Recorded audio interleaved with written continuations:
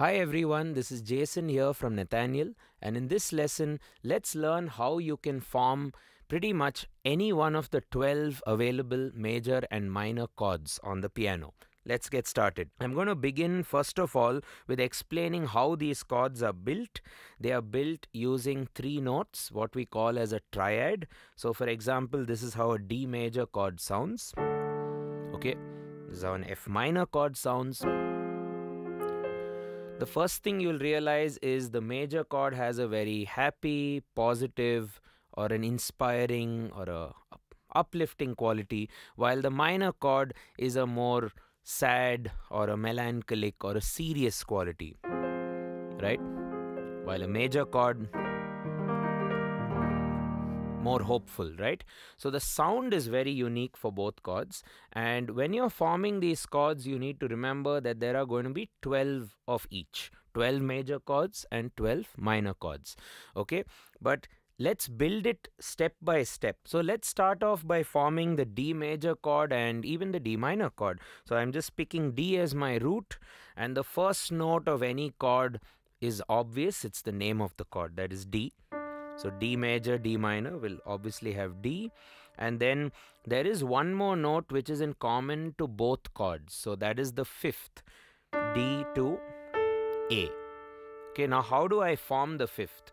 One way to form it is you could go up five scale steps. If you know D major scale, you can go to the fifth and you get yourself the A.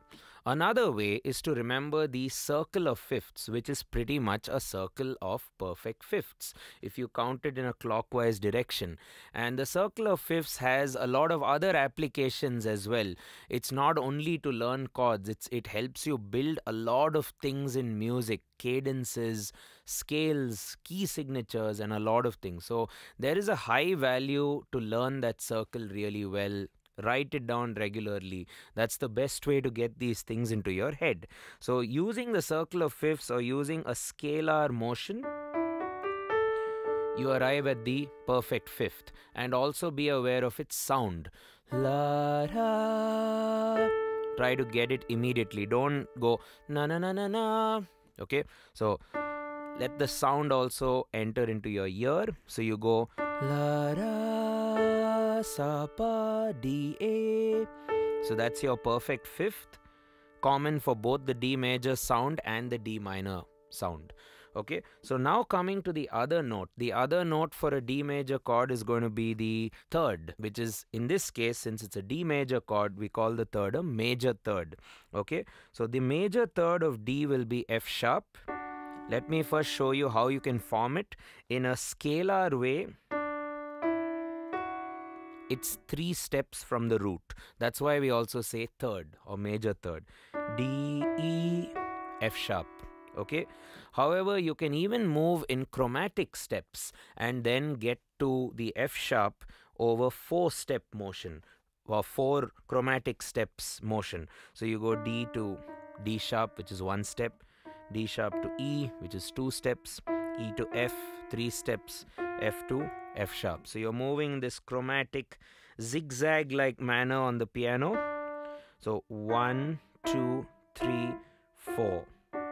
And you arrive at your major third. And as you do this for more and more chords, it will be highly advisable to write this down. Write down the major thirds from pretty much any root, write down the perfect fifths pretty much from any root, and you got yourself pretty much the major chords. So D major again, D, it's fifth, A, it's third, F sharp, and you got yourself the D major chord.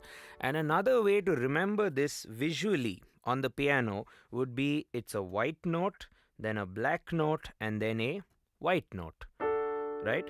So you can remember this, uh, I guess, as a WBW chord white black white chord so you get a kind of a shape on your hand or a hand hold if you will which may actually be common for some other chords for example if i take a major okay? I'm taking a what is a fifth from a? E.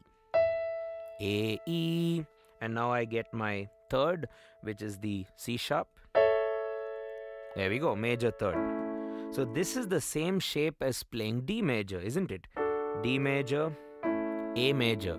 And you will also discover that when you do E major, E major also has the same shape. And what's also cool is you use them pretty much in very similar scales. Like, for example, in A major scale, you get to use the A major chord, the D major chord, and the E major chord, right? So we figured out now how to form pretty much any major chord. It's the root, the perfect fifth, and then you have the major third in the middle. Now coming to a minor chord. So let me go back to the root D, and I'm going to play you the fifth again the perfect fifth, and the middle note is going to be the minor third. In this case, the F. Now you could get the F if you know the D minor scale. It's the third note of the minor scale. But another way to get it is three steps from the root or three chromatic steps. One, two, three you get yourself the minor third. Now, another way in which people remember a minor chord is to go down one step from the major third, and that also is a way to get the minor chord. However, with all this which I've said, it's advisable to write it down, play it, and then bank it right and also as i said earlier find chords with the similar shapes so for example i have D minor, DFA, which is white note, white note, white note. Now, which is another minor chord which has white note, white note, white note, maybe A minor. A C E. A major would have been A C sharp E, and A minor would be A C E. And then you could even do E minor. Okay, so it's very important to know when it comes to shape wise, you have trios of chords which fall all under the same shape. So if you take major chords again, you have white, black, white majors, WBW majors, A, D major, E major. These are all white, black, white majors. Then you have triple white majors or all white. That's C major, F major, G major. You could group them together. And then you have black, white, black majors. You have to learn a flat major, D flat major, and E flat major. You see the shape of all these three chords? Identical, right? So you could remember it that way. It'll it, you can visualize it also better when you play it on the piano. And then you will have three chords or three major chords as well as three minor chords which have a unique shape right? Which are misnomers if you will. One will be uh, all black chord all black note chord. That's f sharp major or g flat major. Then you have to deal with the b's as i call them the b flat major which is black white white then the b major which is white black black so b flat and B. Let's go through that all over again. What are all my all white major chords? C major, F major, G major. What are all my white, black, white major chords? D major, E major, A major. What are all my black, white, black chords? A flat major, D flat major, and E flat major, right?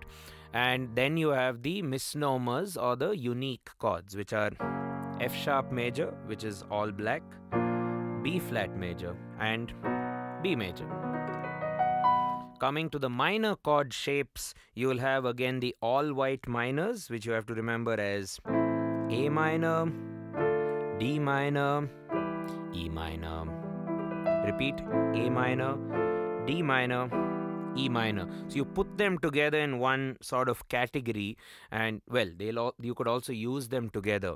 Something about the chord shapes or the piano chord shapes is very musical. You know, the same shapes tend to be used together. So it's good to bracket them into shapes at least when you're starting off with forming the chords. Coming to the white, black, white minors C minor, F minor, G minor. Repeat C minor, F minor, G minor. Okay, then you have the black, white, black minors, which we call as C sharp minor, G sharp minor, and F sharp minor.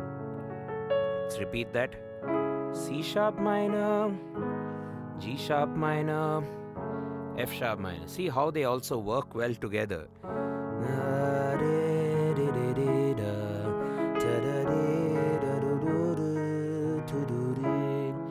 And then, of course, you have the unique minor chords, which are, you have to remember now one by one D sharp minor or E flat minor, all black. And then remember, the unique ones are always going to be the both the B's. You have B minor, which is white, white, black, and you have B flat minor, which is black, black, white. Unique shapes. Okay, so those are the shapes of all your major and minor chords. So, to conclude, there are a few ways to forming the major and minor chords. First, remember that all of these chords have three notes. We also call them as triads. There are 12 in total. That's pretty much all you'll ever have to learn. And to form them, the first thing is to acknowledge the sound. A major chord is built using the root and a perfect fifth. The minor chord is also built using a root and a perfect fifth. The in between note or the third note, the, the, the third has two qualities. You have the major third for the major chord, and you have the minor third for the minor chord. Okay, to get the major third, you can get it in a very crude way, chromatically four steps one, two, three, four. And the minor third you can get again in a crude way, chromatically, three steps. One, two, So if ever you're stuck, you can pretty much move chromatically. And after you've got the thirds and after you've formulated the chord, write it down and figure out the shape, how your hand feels on the piano. More food for thought will be what happens when you're trying to change chords or build a chord progression with whatever major chords, then a major, then a minor, and different chords. So, for that, we need to start looking at chord shapes or chord inversions. I have done a lot of lessons on chord inversions. In fact, we have a playlist on chord inversions. I'd advise you to check that out. This lesson was just to figure out the notes of these chords. This lesson was pretty much just to form the notes of both the major and the minor chords, which are 12 in number.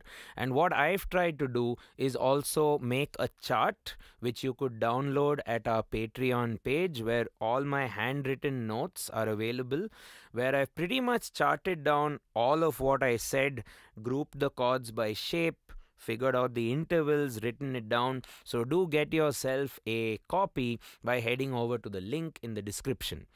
Again, this is Jason here from Nathaniel School of Music. Hope you guys found the lesson useful and if you did, please like the video, share the video, subscribe to our channel if you haven't already, and hit the bell for regular notifications. Cheers.